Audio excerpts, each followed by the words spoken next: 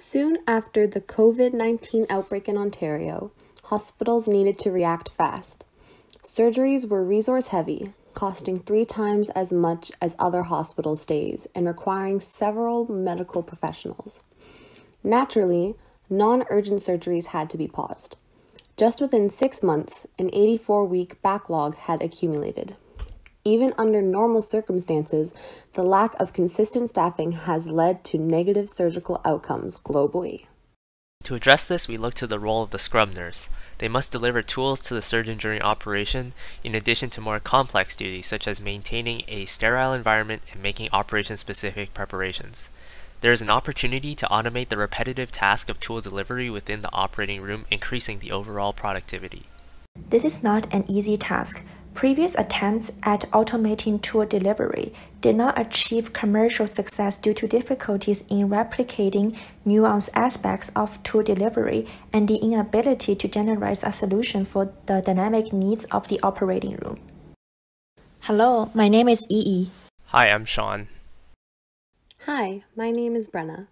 And I'm Debbie and under the guidance and supervision of Dr. Stuart McLaughlin and Dr. Brandon DeHart, as well as in collaboration with the Waterloo RoboHub Research Facility, we present to you a helping hand, the surgical assistant. For any product to be viable commercially, there must be sufficient financial incentive. A helping hand would introduce savings in scrub nurse time. Based on the median surgical nurse salary of $85,000 per year in Canada, the average cost of a scrub nurse per operation is 56 Canadian dollars. The solution we will present to you today is projected to result in $26.50 in potential savings per operation, corresponding to over $26.5 million annually in Canada alone. We'd like to automate the scrub nurse's task of tool delivery in the OR. For a human, this involves determining what tool is needed, finding it on the tray, picking it up, passing it to the surgeon safely, and returning the old tool. Humans can do many complex tasks implicitly, but what is trivial for a human may pose a major challenge for an automated system. For a scrub nurse, the task of passing a tool to a surgeon can be seen solely as the five distinct steps listed previously. However, a more detailed breakdown is required for a robotic system.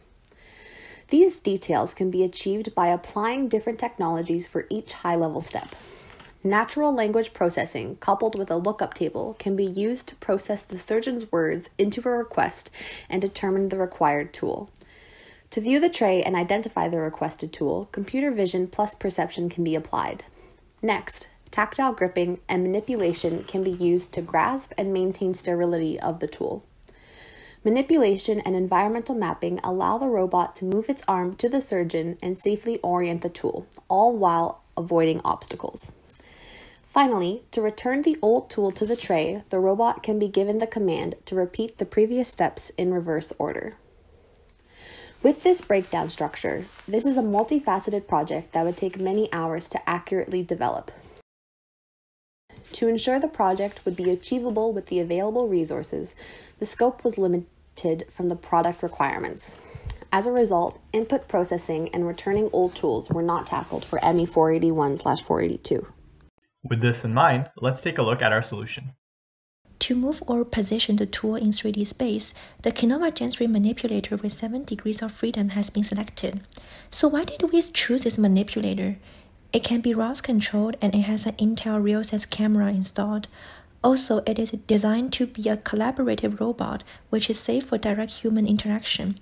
Additionally, its redundancy allows for more flexibility in its movement.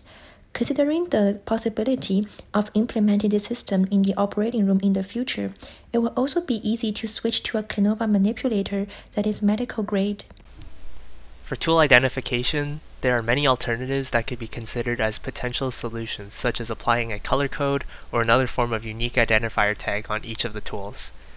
While these are reliable solutions, they are not scalable in the industry, as existing tools will need to be modified and future tools must have identifiers manufactured into them. Instead, an object detection method using computer vision was implemented, using the shape of the tool itself for information. This prototype uses an open source YOLO v3 vision model to get fast, yet accurate object detection results from the onboard Intel RealSense camera to identify between a scalpel and a mallet. This method can be scaled up in the future simply by training a new model with new tools. In terms of motion planning, the main tasks are moving manipulator to the tool ID position, then to the tool pickup position, and finally to the handoff position. Also, safety protocols for object collisions are implemented. Inverse kinematics are done through setting the Cartesian coordinates at the end effector. Within OR settings, a sterile environment is required. Commonly for robotic devices within the OR, a plastic sterile cover is draped over the arm. However, due to the pinch points of the gripper, this solution was not feasible for the end effector. So, how can we solve this problem? We decided to go with the disposable finger design. For our prototype, we have 3D printed finger links that can be re- replaced after each surgery. Additionally, to increase the gripper's adaptability to different tool shapes and sizes, rubberized soft foam has been placed on the inside of the finger pads to mold to the tool it is holding. For this M- working MVP and to fit the scope of the project into ME 481 and 482, we have designed a foam cutout to place the tools in. This allows us to ensure the tools are in the same orientation for tool identification and manipulation. The gripper is commanded to the fully closed position during gripping as there's a maximum gripping force constraint. After successfully picking up the tool, the controller constantly monitors the gripping force to ensure secure grip. As always, safety first to avoid injuries before handing off the tools to the surgeons. It is important to orient the tools to a safe position. For example, the handle of the scalpel should face the surgeon instead of its blade. Thus, after detecting the tool's current orientation and identifying its end of location, the quaternions are set and the tool is oriented. Finally, the tool is handed off to the surgeon when they have it in their grasp. This is done by measuring the change in the manipulator joint torques as the surgeon begins to tug on the tool. By comparing this to a baseline value due to gravity alone, the tool is released only when the surgeon is ready to accept it. This solution was chosen as it places the strengths of the collaborative robot. Our experiments showed that using external sensors instead to detect when a hand is enclosed around a tool was much less robust and was prone to false positive readings.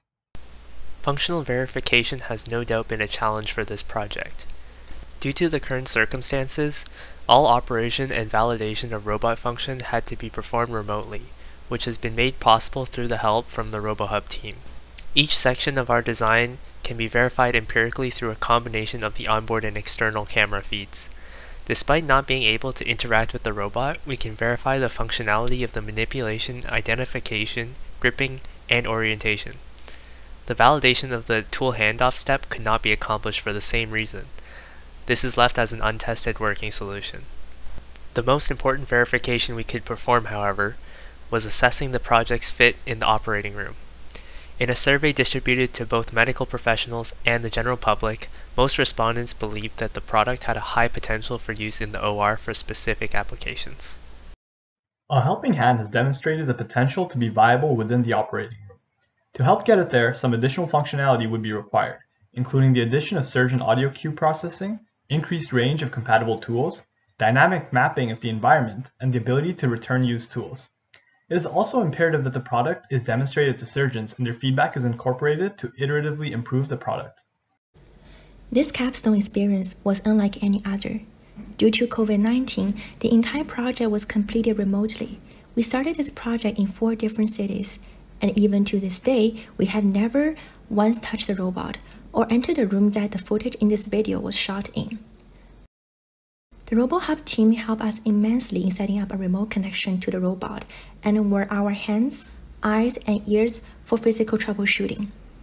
Believe it or not, our advisor Dr. Brandon DeHart built a second robot to press the reset button on this one when we encountered a memory leak issue. We are grateful for the support we've received and are proud of ourselves for completing this project despite the added challenges.